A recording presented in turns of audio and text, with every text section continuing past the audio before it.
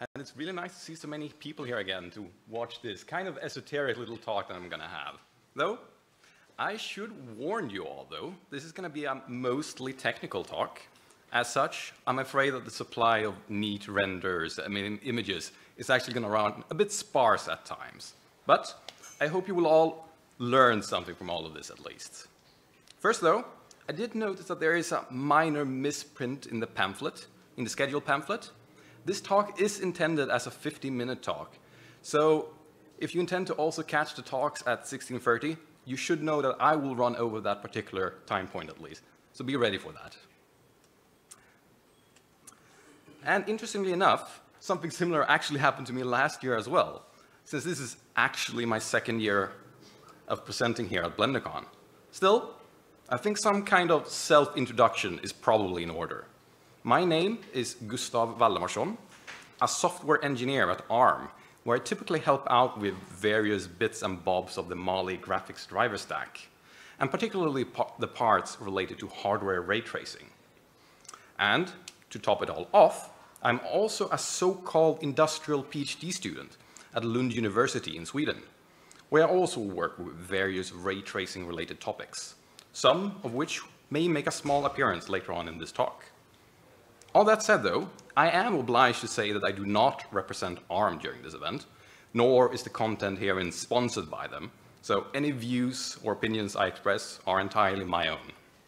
And just in case you're wondering, I'm also not affiliated with the people behind PBRT in any way. I also happen to have used that framework quite a bit over the last few years. But with that, let us jump into the meat of things. In this talk, I will primarily discuss three things. PBRT, the rendering framework and subsequent file format, how to create custom importers in Blender, and how to create custom exporters. I will also briefly touch upon some aspects about custom renderers, but more on that in a little bit. First though, I hope I haven't lured anyone here with hopes about learning about PBR PBR textures and techniques. While the letters are the same and actually stands for exactly the same thing, that is going to be an entirely different topic, which is out of scope from this talk. First, though, let us briefly summarize what we already have in Blender in terms of rendering engines. By default, we have Cycles, the unidirectional volumetric path tracer that we typically use to create our nicer images. And Eevee, the real-time raster-based engine that we use for a bit faster rendering. And of course, the workbench renderer, which we typically only use for previewing our models inside of Blender. And I must say, not being a Blender developer, I don't really know a lot about the internals of these renderers, but from what, what I've been able to gather so far, both here at BlenderCon and elsewhere, they do appear to be very flexible and featureful renderers. One could also argue that some features of these, such as view layers with clever compositioning, makes these count as multiple different rendering engines. Still, sometimes it is desirable to use something different, something which may be more suited for some specialized task. And this is kind of where PBRT comes in. In full, this stands for physically based rendering from theory to implementation. And it is both an award-winning textbook and a research and educational framework for developing new or improving existing rendering algorithms. It is also open sourced under a very liberal license, and as such, it has been very influential over the last few decades and in the last two editions have even been made freely available online, which you can find through these links, making them an excellent resource for learning about all things rendering, both theory and how to implement them. As for the renders that already exist in PBRT, they are plentiful, to say the least, as I hope these lists kind of illustrates, even if they are a bit disingenuous. As I said before, with compositioning, we can easily get some things, such as ambient occlusion rendering, in Cycles and Eevee. Here, though, that would correspond to an entirely different renderer. Note, though, that this is in part a research framework. As such, the editions have consequently followed various trends in computer graphics research, hence this varying availability of rendering algorithms over the years. And just to show you an example, this is one such case where it makes sense to have such a specialized renderer. As scenes with a lot of caustics like this is still something that is ex extremely challenging to render. To the left, yes, from your point of view as well, I rendered this caustic-heavy example scene with a stochastic progressive photon mapping algorithm, uh, renderer in PBRT, and to the right, I did my best to try to recreate the same kind of caustics in cycles. But even after digging through lots of rendering settings, I just didn't really manage to get anything, as I hope you can see there. Although I fully expect that someone who knows cycles a lot better than I do could do a lot better job with this than I did. Still, the fact remains that if you know what your scene is going to contain, it sometimes makes sense to choose a renderer that is more suited for that particular task. But, as I said, PBRT is also an ideal framework for developing new rendering algorithms. So, way back when, in 2019, HBO aired their excellent Chernobyl miniseries. And in the first few episodes, some eerie lighting effects were attributed attributed to this thing called Cherenkov radiation, which happened to catch my interest. So I did a little bit of research on that particular topic. Typically, it is a phenomenon that can be seen in the proximity of active nuclear reactors, as you can see from these photographs. But when I looked for some, let's say, neater renderings of the effect in a more controlled setting, I wasn't really able to find much. And this video simulating a single particle in 2D, a single charged particle in 2D, was among the few things I found, showing how photons are emitted in a cone from the path of a charged particle. And while it is neat and describes the phenomenon quite well, it's not exactly the neat-looking rendering that I was after. So that got me thinking, could I modify the photon mapping algorithm that I showed you before to somehow generate something similar, but in 3D and with accurate lighting? So to that end, I created a simple variation of the so-called Cornell box, like this, letting a charged particle enter the scene along the red arrow, passing through a kind of sphere, which is sort of like going to be a resistance for the particle, which then should, in theory, cast light in a cone like this. And after a little bit of implementation and experimentation in my homegrown renderer, I got something that looked something like this. Doesn't look like much, but it was a good proof of concept that this might actually work. So, after a little bit of porting work to PBRT instead, I was able to get a lot of features almost for free which gave me a rendering that looked something like this, which is much better than anything that I could easily create in my own experimental framework. Basically, in PBRT, I got a lot of these extra features for free, such as accurate handling of spectral properties, which are really necessary to sell an effect like this. At least if you want it to be physically based, at least. And this phenomenon depends quite a lot on the density of the material that the particle passes through. So, to see how that would affect things, we created another scene with rods of vary, varying index of refraction, giving us a rendering that looks something like this. And this and a few other things we wrote up in a paper that I created a number of years ago. So if you're interested, you can find the details down here or my personal webpage, along with the code that I used to create these. But with that, I hope I've given you a sufficient introduction to the motivation for why we may want to use a different framework, either to improve some specific effect, such as photon mapping, or to make it easier to try things out in a different kind of research framework.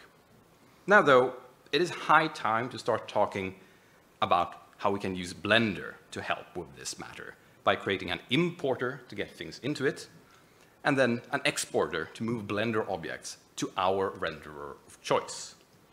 So today, in keeping with the BlenderCon theme this year, we are taking the first steps in making Blender love PBRT. So I want to start with talking about the importer, since it's sometimes desirable to be backwards compatible, to some degree at least. And thus, being able to import existing scenes that you have created directly into Blender could be a huge boon. Furthermore, for PBRT in particular, it is rumored that it has been used as the base for creating various production renderers.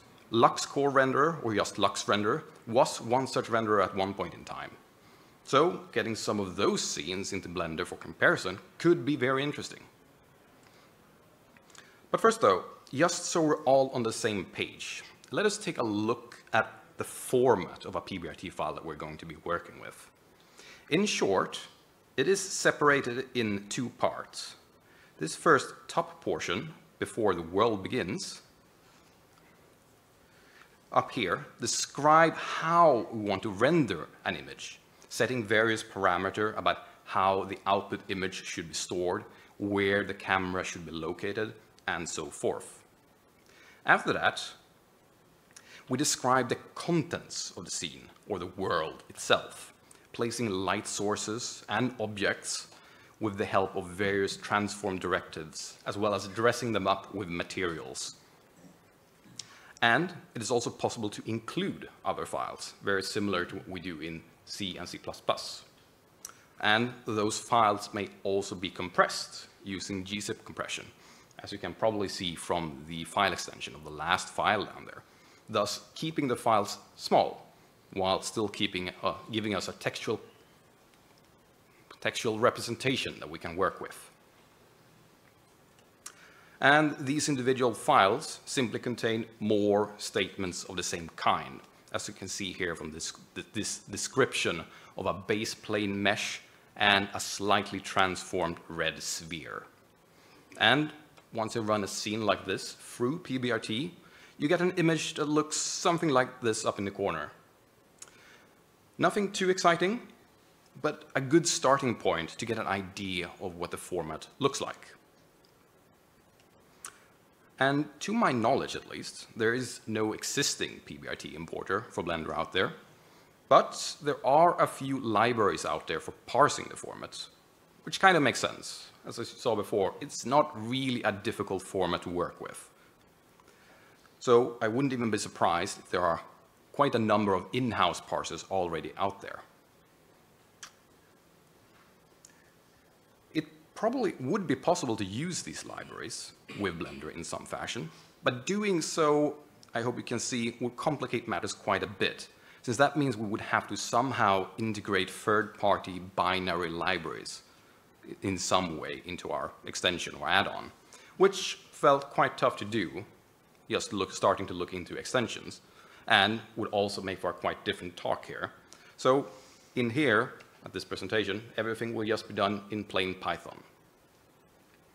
This obviously means that we probably won't win any performance drag races, but for what is probably only going to be a single one-time cost for importing files into Blender for working with, being more general and more portable feels like the right choice.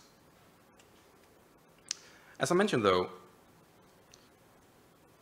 I have used PBRT quite a bit over the last few years, and I even used this with my own in-house PBRT parser to generate a bunch of test data by first converting the PBRT format to this GLTF format instead. That's kind of what I talked about last year. And then I used their importer instead to bring that file into Blender. This works, but it's a bit problematic for a few reasons. Firstly, PBRT has quite a number of primitives to, to describe objects, most of which are not supported by GLTF. But most crucially, while GLTF has a great material model, The one available in PBRT is substantially deeper with a full graph to describe mixing of both materials and textures. As such, in my converter, I was forced to adjust all materials or simply drop all of that information.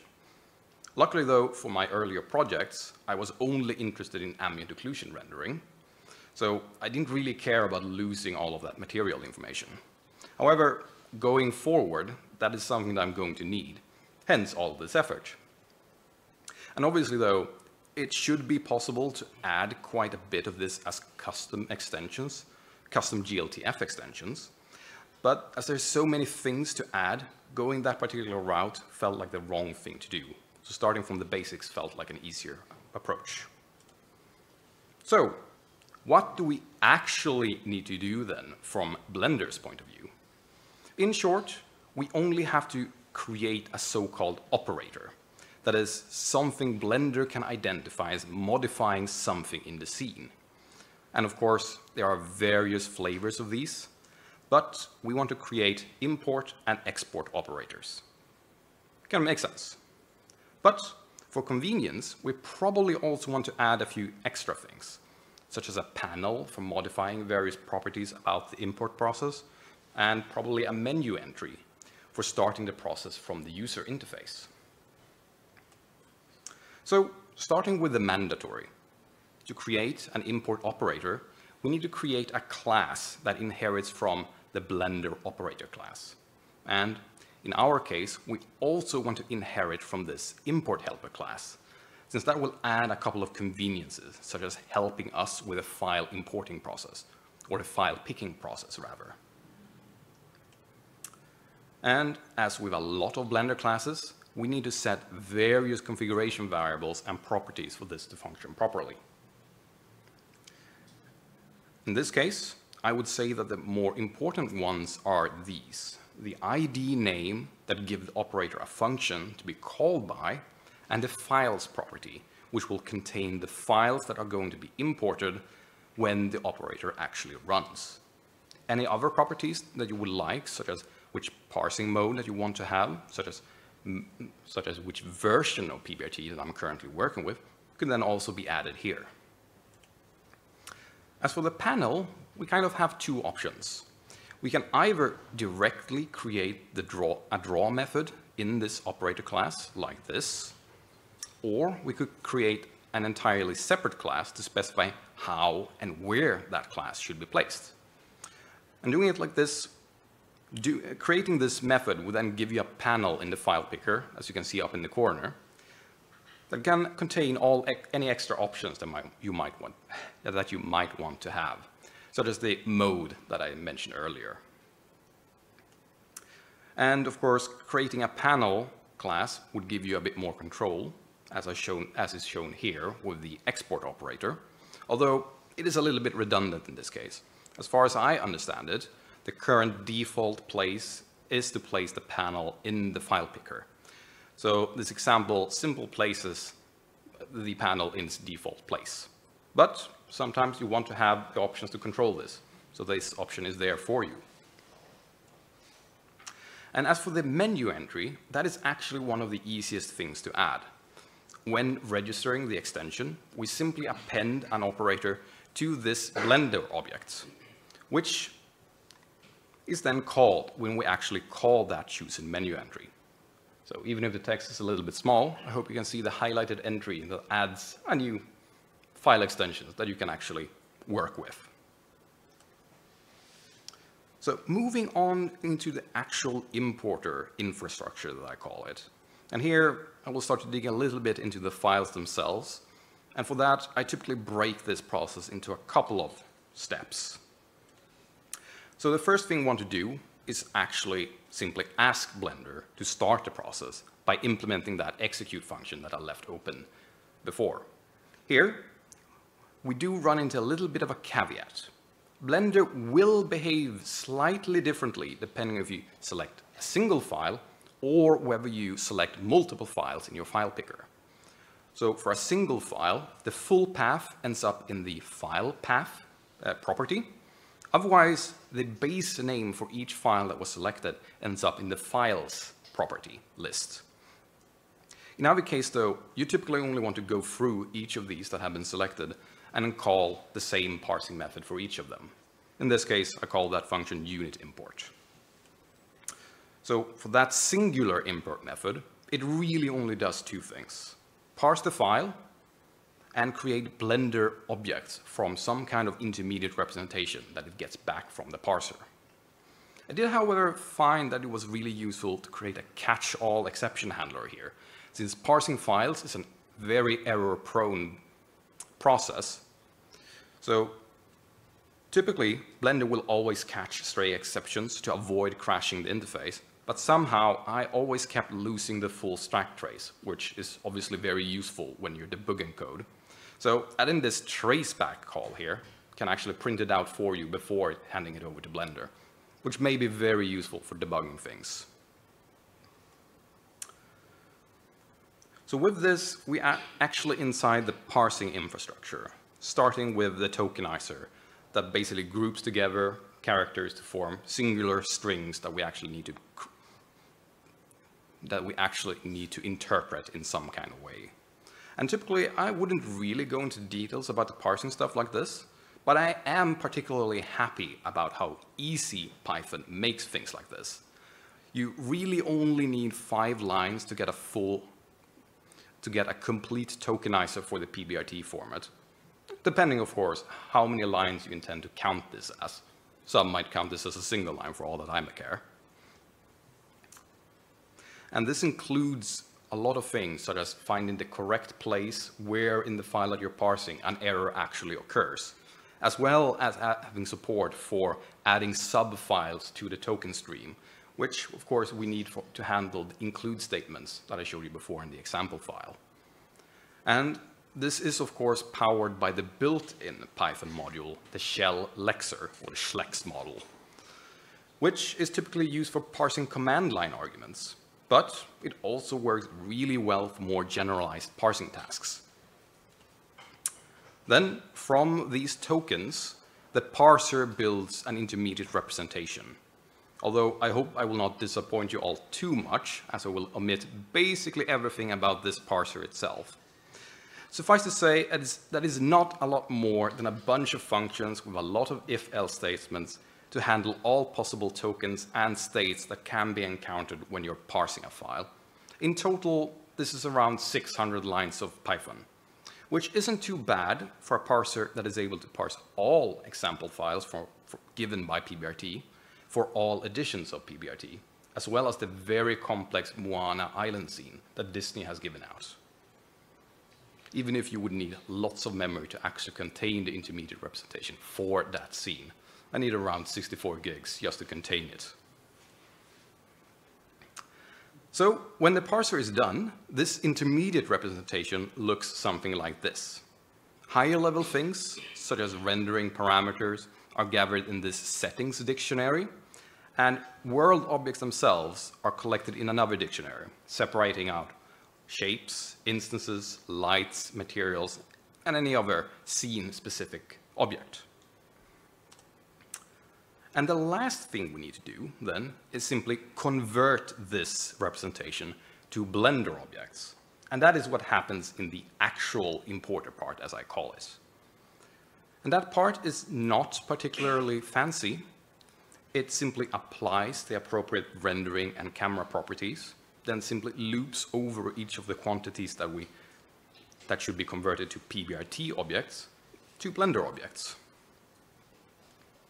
And just to show an example, when I import a single shape, I typically do it like this.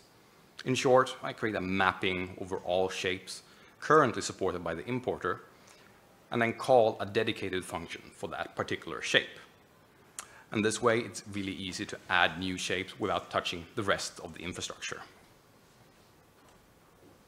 And for a PBRT sphere in particular, we can thus extract the parsed parameters from the intermediate representation and create a normal Blender object from this, such as a UV sphere in this case.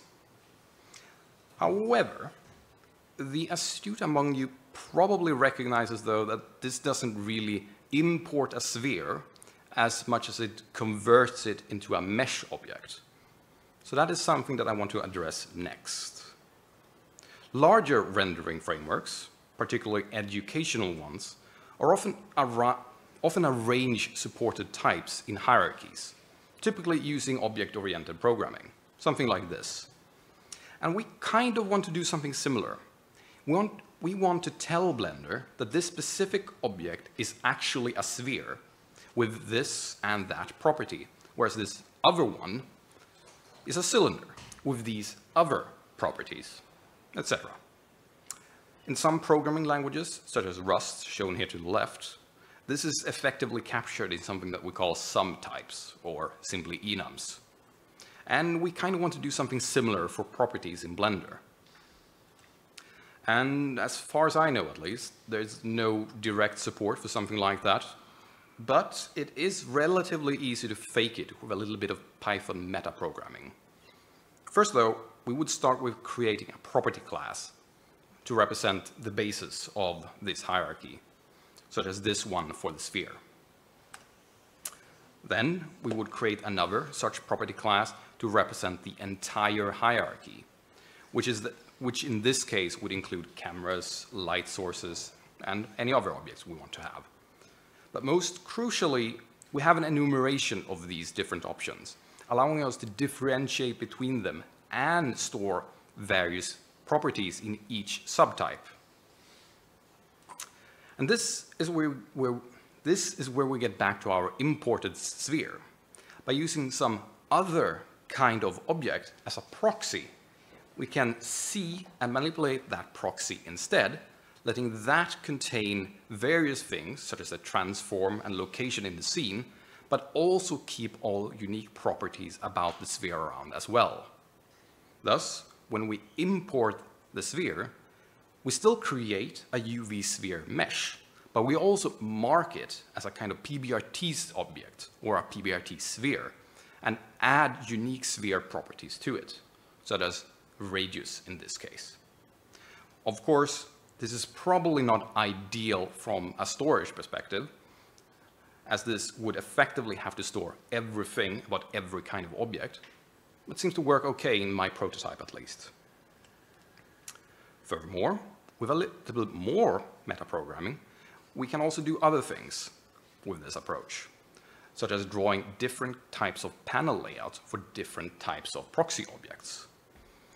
We simply grab that type property first, then crawl over all of the properties for that subtype, which themselves can be found using the slightly weird double, unders double underscored annotations attribute.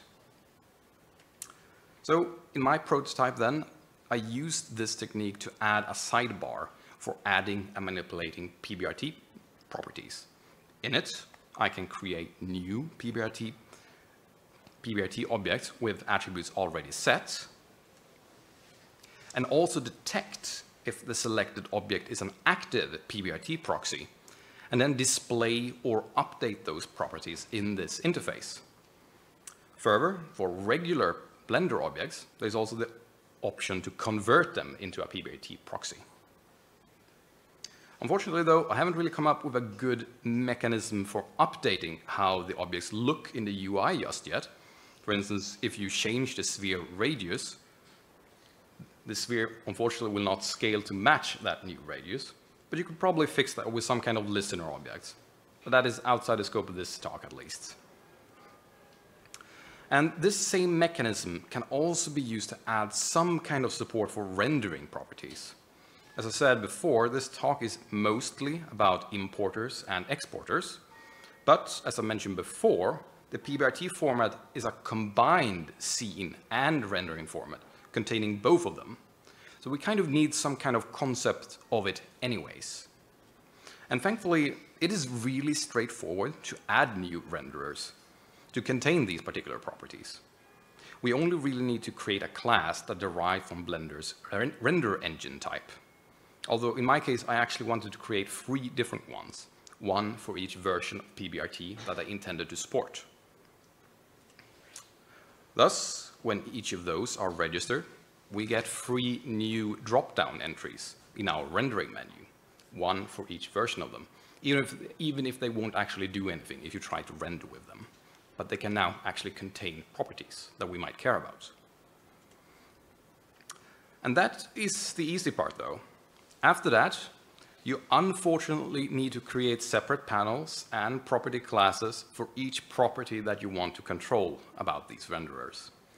And here's an example for the so-called accelerator property in PBRT version 4, and an example panel that adapts to the various types this property could have, just as for the proxy objects I showed before. And oh, unfortunately for me, though, there are still loads of these properties and panels, which were quite tedious to create, but should hopefully be done now, thanks to a couple of scripts that I created, barring any bugs, of course. So that was all about proxies and render properties, which leaves us with the exporter, which arguably is one of the easier parts. And in fact, there are already a couple of PBRT exporters out there, although they are all probably due for a bit of an update, judging from the README and currently advertised Blender version, but they probably still work actually. And that is no really a reason to harp on them. Just that they exist is a huge boon and makes for a good starting point for continuing this work, particular work, even if I'm starting from scratch in my case. So what do we actually need to create an exporter then? Basically, we need exactly the same things that we need for the importer. An operator to do the export, and then optionally a panel and a menu entry. And the operator is very similar to our importer. The main difference is that instead of deriving from the import helper, we derive from the export helper, quite logically. After that, we still need to set we need to create a set of configuration variables, add a draw method if we want to have a panel for it, and an execute method to actually drive the operator. For the configuration variables, they are very similar. We need to create the identifier to call the operator by using the ID name variable. And the main difference here is that we don't really need to care about multiple files this time. Once we start the export process, the actual file location that Blender wants us to populate can be found in the same file path property that I showed for the importer.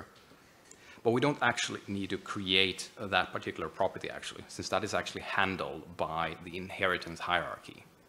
Of course, we can still export to multiple files, but that is probably something that is more easily handled as in software instead. So you probably want to control that.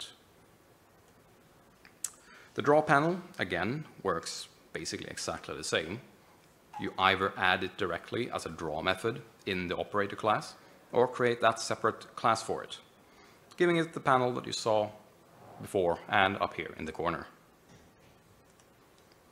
And of course, we need to do, actually do something when we execute the export, which we handle by implementing the execute function.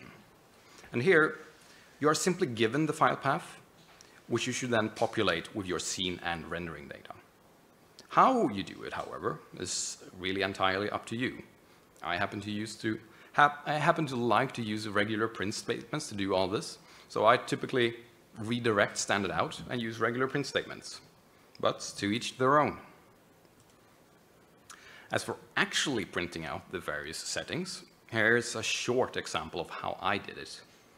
First, I simply extract the rendering properties, which of course may be slightly different depending on which version of PBRT you're using. So you need to extract the correct one. Then I call this to PBRT convenience method. And this method is this, which I suspect is a little bit hard to read from here. But in short, it uses the, it uses the same basic method that I use for the proxy and rendering objects, but this time to print out the property in the correct PBRT format. This, of course, means that we need to perform a bit of type and value translations to match what PBRT actually expects, but nothing really major needs to do here.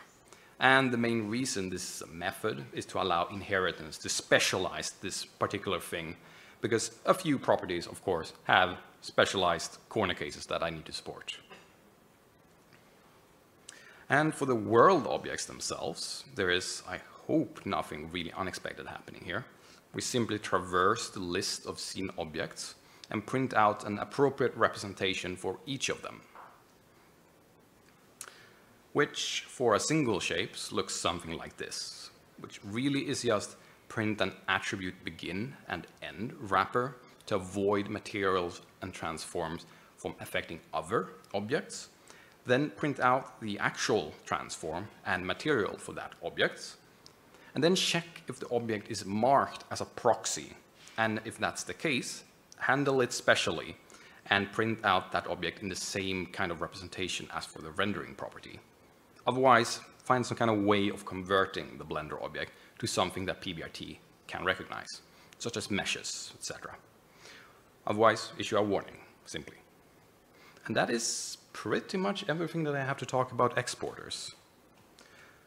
The last thing I want to bring up is something that I haven't really found a good way of solving namely spectral properties.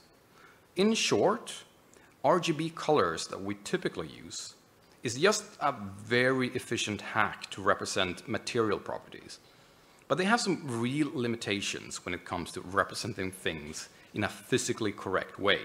In, in reality, how light actually interacts with materials can differ a lot depending on what part of the spectrum the light actually contains.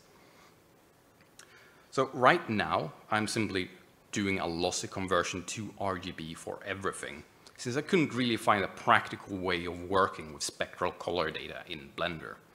Obviously, I could simply keep the original spectra around somewhere for the PBRT objects, but that would kind of make them impractical to work with. So I figured that it kind of would be nice have some kind of UI widget for spectra like this, similar to kind of curves that we have in Blender allowing us to pick from some kind of presets among metals or lights, and then allow us to modify the response curve accordingly. But that is really just me musing on what would be nice for working with spectral properties in Blender, not an actual suggestion, given the complexity of adding support for something like that. Which brings me to the end of this talk. And just to quickly summarize things, during this presentation, I've talked about, I have talked about PBRT, what it is, and what kind of renderings it can do, along with its file format, and briefly shown how to create custom importers and exporters for Blender using PBRT as an example, as well as how to add rendering, rendering property to influence these, these importers and exporters, and how to use proxy objects in Blender to represent various types of PBRT objects. And with that, I think it's about time to conclude the presentation. And I guess open up for any kind of questions if you have any, and of course, hopefully some answers.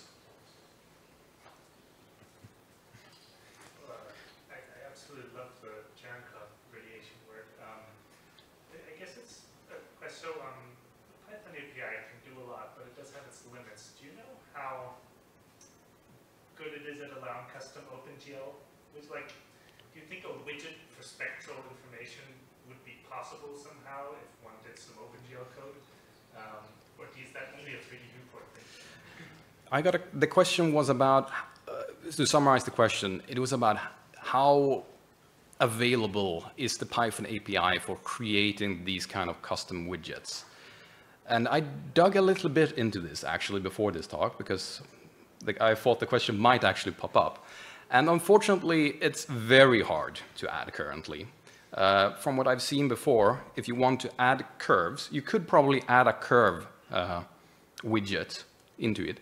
But in order to get that, you actually have to hack into a node object to actually contain uh, the, the curve itself, because you can't create one of those because it's a C++ object, uh, making it really hard to create them in custom locations. At least that's as far as I was able to understand from it. And the same goes for color ramps and other stuff like that. And extending this further, of course, to something like a spectral widget uh, would be even harder, of course. Of course, I am not a developer uh, for Blender, so I could be wrong, but the developer issue that I found uh, for this uh, particular issue uh, was from 2002 uh, and hadn't been updated since then. So I'm not sure how interesting this is. I don't know for a fact, but there are existing widgets in there that have a curved widget, and everything Blender's Python, right? So I would look at the code for those, the existing UI, and find if that'll work for you. As I said before, they do exist, but in those cases, you typically create a node uh, that you can work with to contain the spectra, uh, the uh, curve uh, widget, which you can then try to hack into. But as I said before, that's because the node contains the C++ object, and that's why you can kind of use it as a go-to thing. So it can be hacked, It can be hacked, but it's not currently officially supported, has been my understanding at least. I have a silly question. Uh, I don't know if I missed that part of the information you were talking about. Your, your importer um, handle the uh, render settings of the PBRT.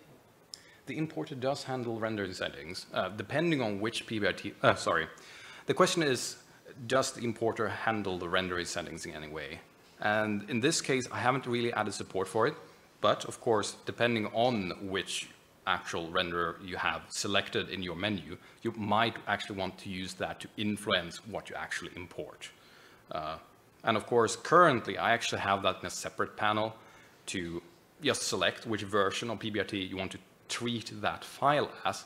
But of course, it's quite simple to just check the rendering property first and populate it that first as well.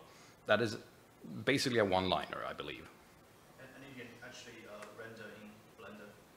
Ah, actually rendering in Blender is a very different topic, unfortunately. As I said before, all of the rendering classes are actually entirely empty. They only contain uh, basically the properties themselves, so such that I can refer to them.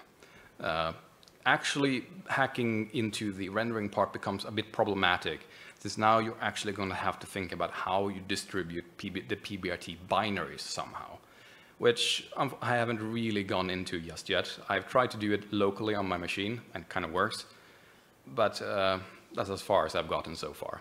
You would need to handle it properly to make sure that you can go to a Mac machine, have it work, have a Linux version to someone else, and also Windows probably. And that is more than I could handle here. In addition to previous question, I'm just very new to this topic, so that's why it may sound stupid.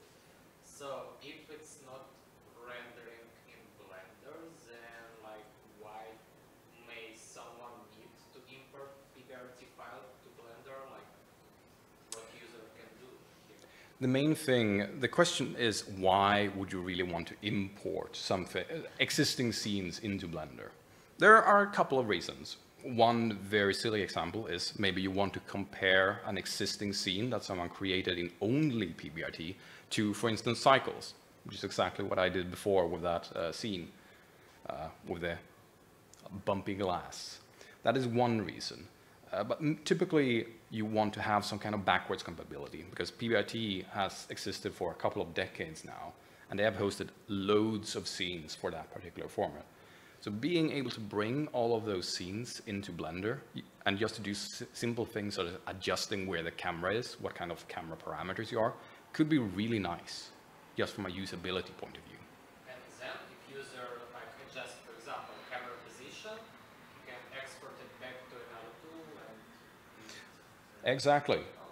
That's the primary idea behind this, really. Having a really nice interface for really creating new PBRT files.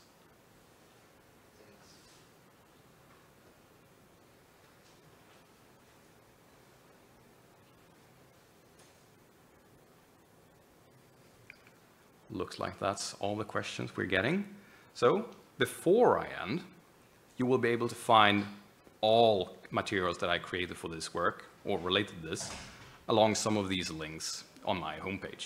And of course, if you have any more questions about PBRT or even GLTF, Vulkan ray tracing, or micromaps that I talked about last year, feel free to, feel free to contact me on any of these emails or just chat me up during the conference now. Thank you.